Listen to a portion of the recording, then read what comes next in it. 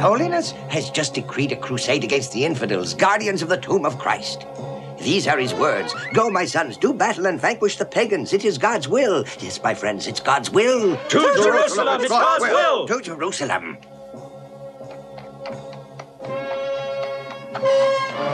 To Jerusalem, God wills it. Hey. Ah. Hey. Hey, friend, how's it going? Us? I prefer to stay as far as possible sacks. from that Go on, get moving. Besides, I've my work to finish up. Not to mention the most important of my reasons. Oh, yeah, I see what you mean. Forward! March! In the, In the service of God, forward march! Not a single Western monarch took part in that first glorious call to the Crusades. All three, William II of England, Henry IV of Germany, and Philip I of France, had been excommunicated by the irascible Pope Urban II. Years have passed since the first crusade set out. In the town, life goes on peacefully.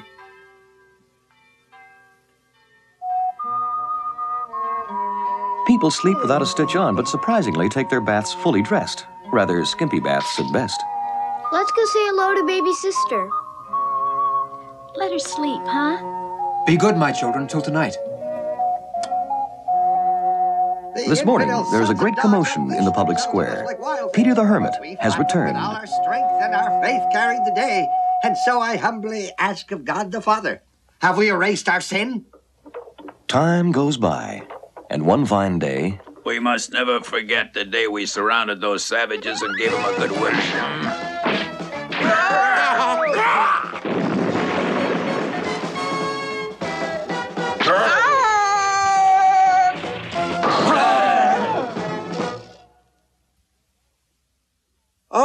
You're back. Oh, you see, old pal, we went into full battle, 15,000 strong. After a few minor points were discussed, we ah! succeeded in convincing our adversaries to see it our way. Finally, it was me that raised our flag over the fortress at Jerusalem. Now that you've become a free man, you'll be able to stay here and help us. Oh, man, what a cute little poultry vendor.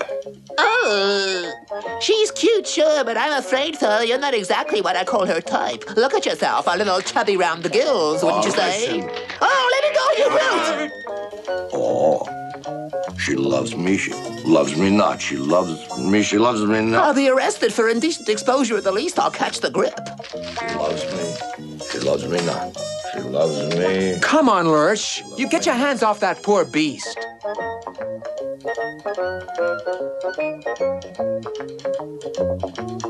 All of an animal's strength lies in the shoulder and neck. Anything it wears in that area must not choke the beast. But what is the best thing? Well, maybe a stiff collar. Huh? Now, now, put on your thinking cap, my boy. The animal would hurt itself with a stiff collar. Stiff? No, no, impossible stiff. What a crazy idea. I don't see what's crazy about my idea. Seems to me it's better than yours up to now. Today is a holiday. Everyone's off work, so they can go to the tournament. And one of the adversaries is none other than... Chief, go on and give him a good licking.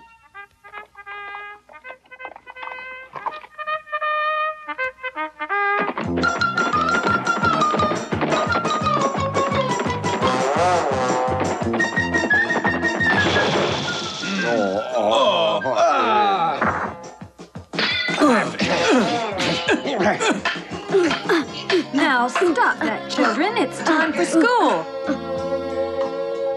Rosa, Rose, Rosa. Rosa, Rose, Rosa. All right, Father. What is the name of this country?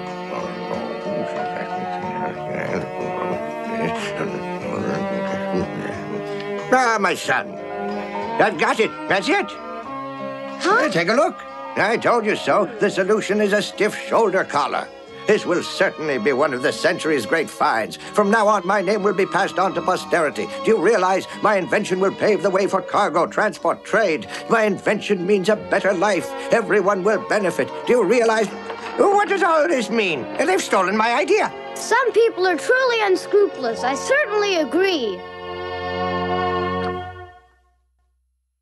Several decades have passed. Grandchildren have grown up. Yet another crusade has set out only to come back defeated. Cities have gained full freedom.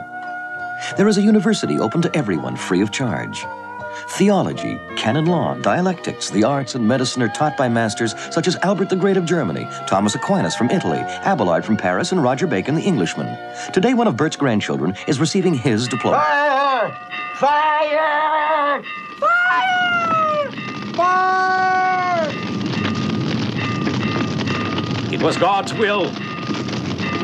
Yea, the will of God. And none shall dare oppose the will of God.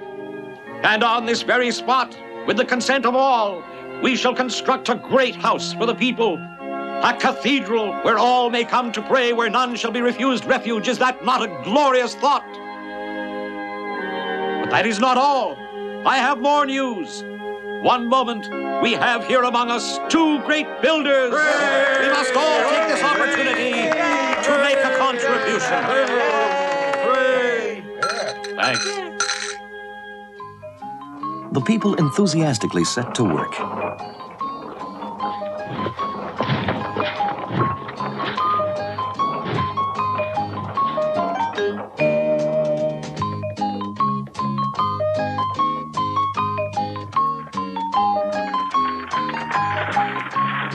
Are you thirsty, men? Boy, am I.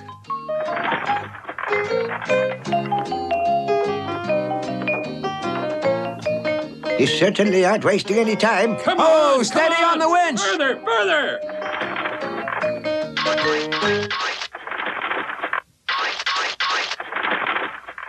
My, my, they are enthusiastic, aren't they? Hey, what's that mess you're making? What's it good for? Nothing, that's what. They work with rare dedication. Ah! Well,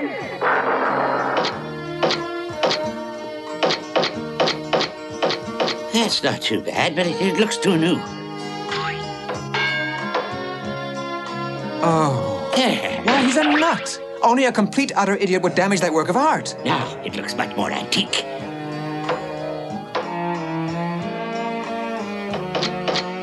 Oh, I can't believe it. Noon break. Say hello to Daddy. Come on, say hello to your daddy.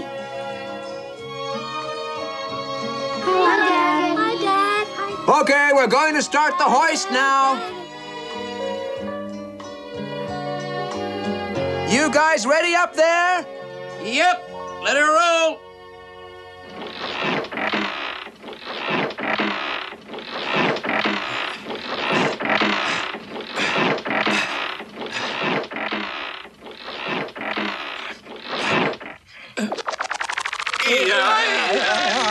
Watch out! Oh, I'll show you.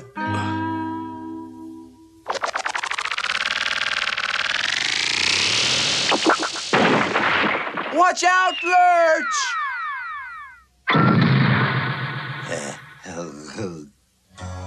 The infidels are back in Jerusalem. They desecrate the Holy Land. Everyone join up for the new crusade. Let us not permit pagans to touch the tomb of Christ. We'll be back soon. Lurch, take care of my oldest son. All right. I'll show him what I think of heathens.